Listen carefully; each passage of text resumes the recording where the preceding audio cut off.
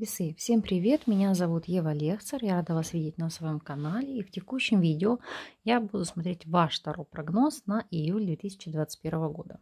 Работать будем сегодня с вами с двумя колодами. Первая у нас основная колода, это Таро Барбары Мур, а, книга теней, два тома, как наверху, так и внизу. И вспомогательная колода, это у нас а, Таро Ангелов. Итак, традиционно с вами посмотрим событийный ряд именно общей энергии месяца, что вас ожидает в плане работы, финансов, здоровья, личной жизни. Запросим от карт совет и на Таро Ангелов мы с вами посмотрим акцент месяца, на что вам нужно будет в большей степени обратить внимание. Итак, начинаем. Общие энергии, что ожидает в плане работы, финансов, здоровья, личной жизни и совет от карт.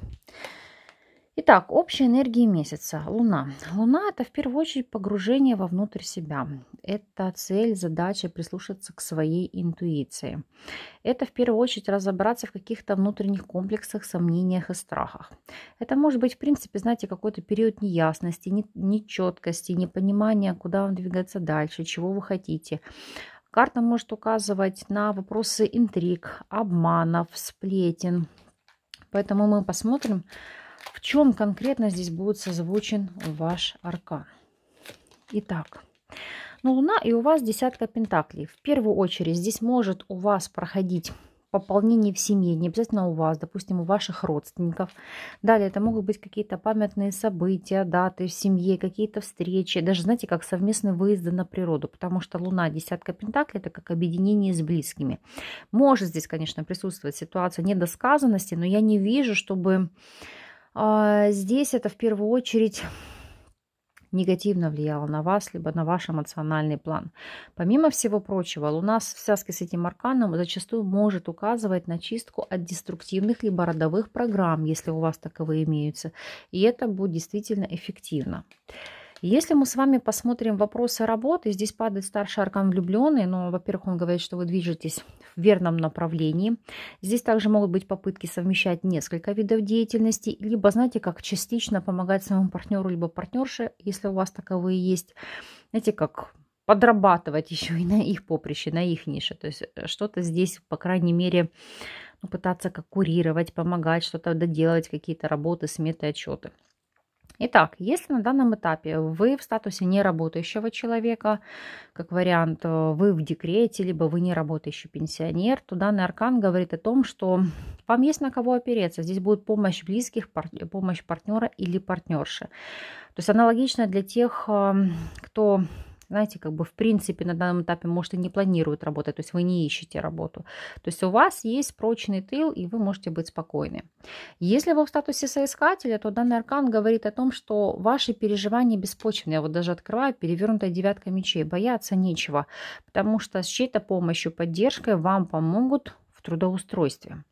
Если же вы являетесь наемным сотрудником, то здесь влюбленный и король Пентаклей, во-первых, это как добавочные какие-то для вас будут обязанности, совмещение нескольких видов деятельности, и, безусловно, это отразится со знаком плюс на вашем заработке.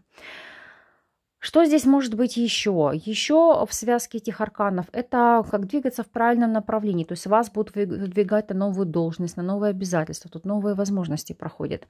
Если же у вас свой собственный бизнес, этот аркан показывает, что вы можете искать соучредителя, помощника или же развивать какую-то дополнительную нишу в структуре вашего бизнеса. Если мы с вами посмотрим финансовую сторону вопроса, Пятерка кубков. Здесь, знаете, как сожаление и нехватка на желаемое. Ну, то есть какие-то есть планы, цели, задачи, чего-то хочется. Но вы здесь будете сокрушаться, что не хватает денег. Ну, давайте посмотрим, в принципе, на финансовый план. Будут ли здесь деньги, все ли здесь стабильно финансово или нет. Видите, по девятке жезлов деньги есть, но пятерка кубков здесь не потеря. Здесь она сидит, сокрушается, плачет, потому что очень хотелось воплотить какую-то цель, задачу или мечту, потому что на это указывают ее блокноты, планирование, которое она здесь себе создавала. Соответственно, в июле вы будете осознавать, что не хватает денег, в перспективе приобрести то, что вы хотите. И вот даже дно колоды, семерка кубков, это как искать дополнительные источники заработка. Вот, по сути, вас эта ситуация здесь и будет толкать для того, чтобы осуществить свою мечту. В плане состояния здоровья тройка кубков – это замечательное самочувствие, как эмоциональное, так и физическое. Единственное, о чем карта здесь может говорить, обращайте внимание на вопросы питания. Даже, может быть, не сколько диета, а на вопросы своевременности приема пищи. Так, если мы посмотрим вопросы личной жизни. По личной жизни здесь падает колесница. Здесь все ровно, все стабильно. Развитие, движение вперед, новые перспективы, новые возможности. Ну, давайте смотреть для вас точечно, потому что все вы разные. Кто-то свободен, кто-то нет кто-то в стабильных связях, поэтому нам, соответственно, нужно прояснить эту ситуацию. Итак, на текущий момент для тех, кто свободны. Здесь, видите, колесница и солнце. Это как познакомиться на празднике, на отдыхе, на каком-то мероприятии. Либо по связке этих арканов это может быть еще открытие. Может быть э, какой-то авто, ну, автопарк будет представлен, то есть автомобильный дилер будет представлять, например, новую модель, какая-то выставка автомобильная, может быть, где вы, либо это может быть авторалли, то есть, знаете, как одновременно и праздник, и а, какое-то яркое такое выступление, на которое вы собирались. Вот здесь может произойти знакомство. Вот об этом вам говорят арканы. Причем, видите, тут два старших аркана, а для вас оно очень будет значимое. Для тех же, кто находится в любовных треугольниках. Давайте посмотрим, как для вас будет отыгрываться ситуация. А у вас здесь колесница восьмерка кубков. Это попытки взвесить все за и против и я не могу сказать, что совсем уйти из этих отношений, но отойти. Объясню почему. Потому что если смотреть на колоду, тут у вас идет желание разобраться в своих чувствах, эмоциях, вопросах привязанности и проверить, насколько вы дороги для партнера, либо для своей партнерши. И, в принципе, нужны ли вам эти отношения. То есть не являются ли они для вас отягощающим фактором. Потому что колесница – это когда вы одновременно в упряжке с несколькими, а по восьмерке кубка вам эта ситуация надоела. Ну, давайте посмотрим для тех, у кого стабильные связи, какова здесь ситуация, как она для вас здесь отыграется. Здесь э, колесница, семерка пентаклей – это совместная цель, совместная задача. Это как собирать деньги, откладывать ресурсы на достижение какой-то цели. У кого-то по связке этих арканов это может быть поездка, у кого-то это может быть покупка автомобиля. Ну, либо еще, знаете, как э, откладывать финансы на переезд, потому что тут идет подсвязки карт. Но, тем не менее, для вас это какие-то существенные изменения, и вы крайне этого жаждете. Тут идет желание наполнить корзину, то есть собрать урожай, достичь своей цели. Если мы посмотрим карту совет, Двойка жезлов. Все в ваших руках, дело спорится. Самое главное, должны понимать, под лежачий камень вода не течет. Соответственно, действуйте, делайте, и тогда все получится. Тем более, повторюсь, двойка жезлов – это как брать больше работы.